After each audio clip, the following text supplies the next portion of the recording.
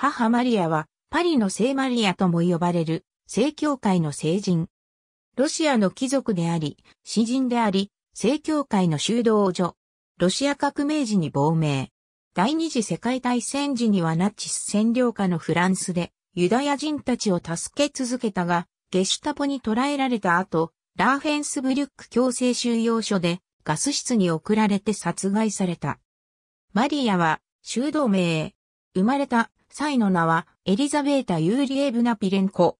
一度目の結婚で生がクジミナカラバイエバとなり、二度目の結婚で生がスコブツォバとなった。修道士、修道女は、聖ではまず呼ばれず、聖人としても、聖付きで呼ばれないのは、本記事のマリアも同様である。パリの聖にして光栄なるかつに地名女聖マリアは、20世紀初頭のパリの修道女であり、地名者。マリアは隣人へのもてなしと隣人への愛に熱心に励んだ。マリアにとってこのことは、クリスチャンの基本であるべきものであり、生活に具体化していこうと努めた。マリアは、ラトビアの貴族の家に1891年に生まれた。生まれた時の名はエリザベータ・ピレンコである。父親は彼女がティーンエイジャーであった頃に永眠し、エリザベータは無神論者となった。1906年、母親が家族を連れてサンクトペテルブルクに移り住んだが、エリザベータはそこで急進的な知的サークルにのめり込んだ。1910年、ボリシェビキであったドミートリー・クジミン・カラビエフと結婚した。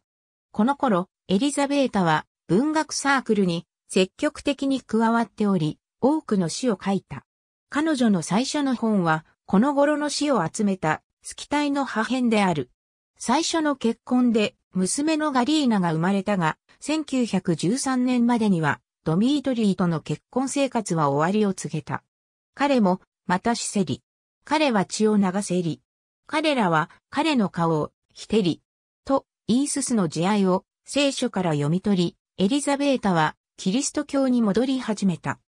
その後、娘ガリーナと共に、南ロシアに移住し、信仰へ、ますます傾倒していった。ロシア革命後の1918年、エリザベータは南ロシアの町アナパの副市長に選ばれた。白軍がアナパを占領した際、市長は逃亡し、彼女が市長となった。白軍はエリザベータをボリシェビキであるとの権疑から裁判にかけたが、その時の判事は彼女のかつての死、ダニエル・スコブツォフであり、彼女は釈放された。二人はすぐに恋に落ち、結婚した。ほどなくして、白軍が赤軍に押され、政治的情勢が再び変わった。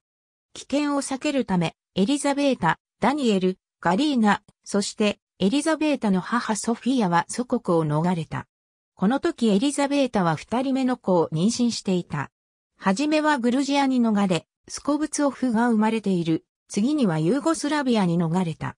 最終的には1923年にパリに落ち着いた。間もなくエリザベータは進学の勉強と社会活動に熱心に取り組むようになった。パーベル・フロレンスキーとセルゲー・ブルガーコフ。1926年、アナスタシアがインフルエンザで永眠し、一家は深い悲しみに包まれた。ガリーナはベルギーの寄宿学校に送られた。この後少しして、ダニエルとエリザベータの結婚生活が破綻した。ダニエルと暮らすことをやめ、ユーリと共にエリザベータはパリ市街中心部に移り住んだ。助けを必要とする人々をより直接、助けられるようにするためであった。エリザベータを指導する主教は、世間から離れた修道院に住まなくとも良いとしつつ、彼女に修道女になることを勧めた。1932年、ダニエル・スコブツオフの容認のもと、教会で離婚が認められ、エリザベータは修道請願を立てた。修道名はマリアであった。いた会担当司祭はセルゲー・ブルガコフであった。